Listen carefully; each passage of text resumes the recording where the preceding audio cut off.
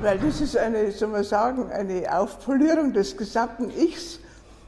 Ich habe wieder mein altes Lächeln dabei, muss meine Zähne nicht verstecken, die furchtbaren Ecken. Und äh, fühle mich also richtig befreit.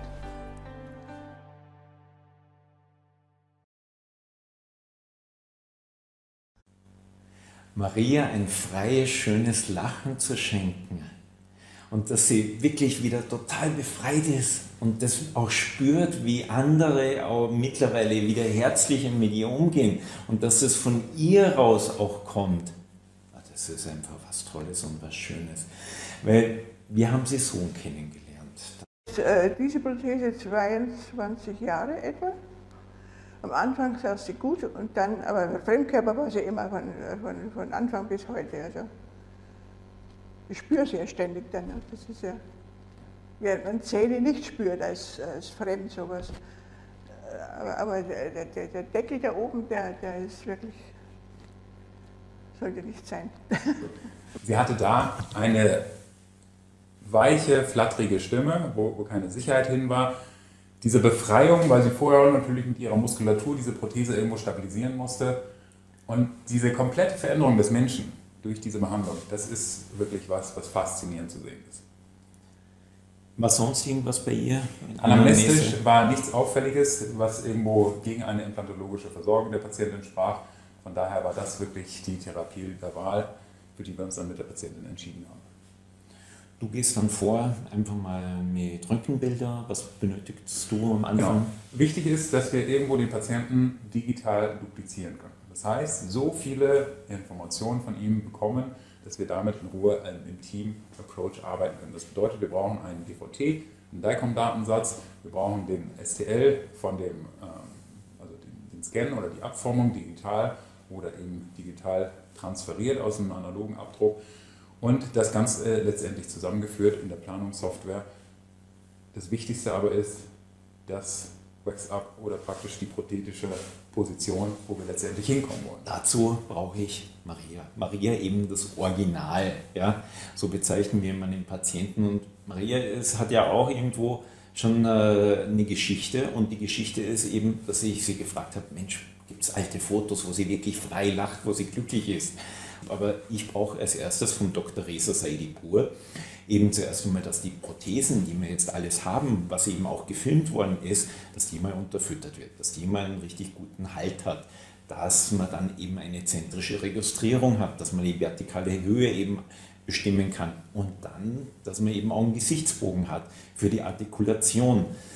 Das ist eine wichtige Sache. Wir arbeiten da eben von der Kauebene her mit dem Udo-Plaster-System und da wissen wir auch, dass die Kauebene für die Überlebensrate, egal von welcher Implantatversorgung wir jetzt sprechen, aber hier explizit in dem Fall eben bei Maria, dass das die Kauebene, die richtige Kauebene einfach für den entscheidend ist.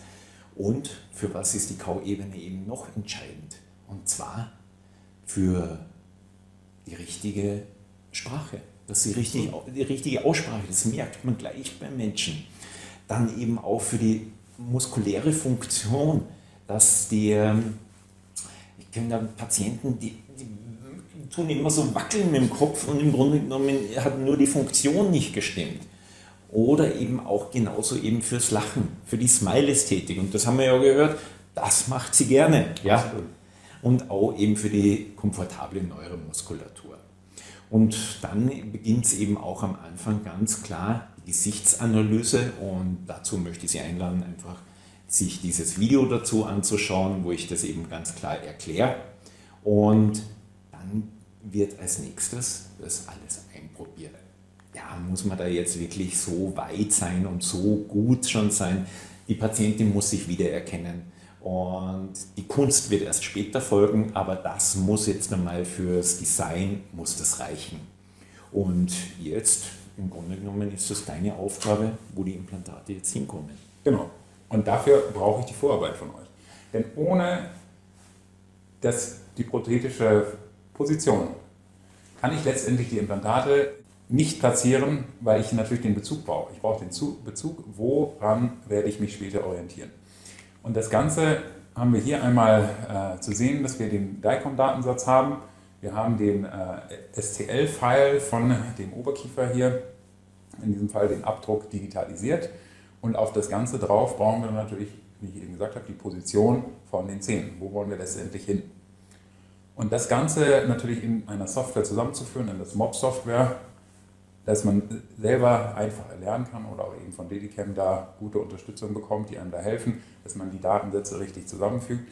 Und hier entsprechend das Wichtige im Oberkiefer, dass das DVT auch so gemacht wird, dass man da mit der Zunge genügend Abstand vom Gaumen hat, dass man das Matching über den harten Gaumen durchführen kann, weil wir hier eben entsprechend keine Zähne haben, was sonst eben die einfachste Möglichkeit ist, das Ganze zusammenzuführen. So, letztendlich wollen wir nicht nur in der Oberkieferposition, sondern auch die Unterkieferposition bei einer äh, bimaxillären OP müssen wir natürlich klar wissen, wo kommen wir dahin. Und grob orientieren wir uns bei der Implantatposition daran, dass wir mit dem distalen Implantat ungefähr im Bereich vom 4er, 5er sind und bei dem mesialen Implantat oder anterioren Implantat im Bereich vom 2er bis 3er. Dann ist es das Wichtige, dass wir die Implantate da so reinsetzen, dass sie ausreichend im Knochen sind und man einen gewissen Spielraum auch hat. Weil natürlich ist diese Guided Surgery eine Sache, womit wir eine Präzision erlangen, aber man sollte immer einen gewissen Spielraum einplanen, um wirklich da sicher zu gehen. Und letztendlich das hintere Implantat wird zum einen aus anatomischen Gründen, um einen Knochenaufbau zu vermeiden, zum anderen zur Vergrößerung des Belastungspolygons anguliert nach Distalgesetz. So. Und hier ist eben auch das Wichtige, dass ein System das voll komplett darstellen kann, von Anfang bis Ende. Bedeutet, ich möchte nicht nur mein Implantat digital planen können, ich möchte auch planen können, was für einen Aufbau habe ich da drauf und natürlich möchte ich das Ganze auch komplett fully geil umsetzen können in der OP. Bedeutet, ich brauche nicht nur meine Drillbohrung, sondern möchte ein System haben, wo, auf das ich mich verlassen kann, dass ich da von A bis Z alles komplett durchplanen kann und das kann man CamLog Progressive Line Guided System sehr schön umsetzen. Was ich dann als nächstes tue, nachdem ich meine Implantate grob ausgerichtet habe, dass ich in die axiale Schicht reingehe und einfach mal durchfahre für jedes Implantat einzeln, gibt es Bereiche, wenn ich die leicht nach vorne, leicht nach distal setze, wo ich bessere Knochenverhältnisse habe. Und dafür ist die axiale Schicht am besten, um das auszunutzen, die darin exakt zu positionieren. Wichtig letztendlich ist auch bei dem äh, distalen Implantat, wo wir dann entsprechend mit unserem Komfort-Abutment, dem angulierten Komfort-Abutment arbeiten, dass wir da auch keinen Knochen im Bereich haben, der uns stören kann. Hierfür ist es super, dass man einen Bohrer hat, einen Profilbohrer, mit dem man sich den Knochen so gestalten kann, dass diese Komfort-Abutments ohne Interferenz mit dem Knochen da einfach zu inserieren sind. Und das Tolle letztendlich an der ganzen Guided-Planung ist, entweder ich mache keine Guided-Planung, brauche einen riesengroßen Koffer mit allen möglichen Aufbauteilen und per Try and Error mache ich sie auf, probiere sie an, passt oder passt nicht. Wie jedes Aufmachen bedeutet auch mal gleich, das Teil muss gekauft werden, das kann man nicht zurückgeben.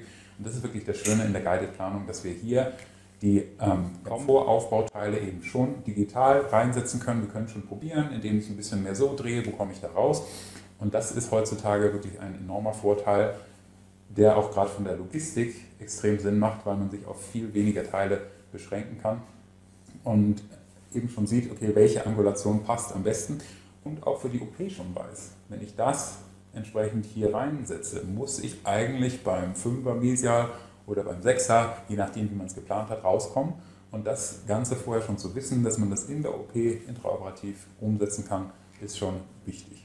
So, und jetzt werden die Daten wieder getrennt.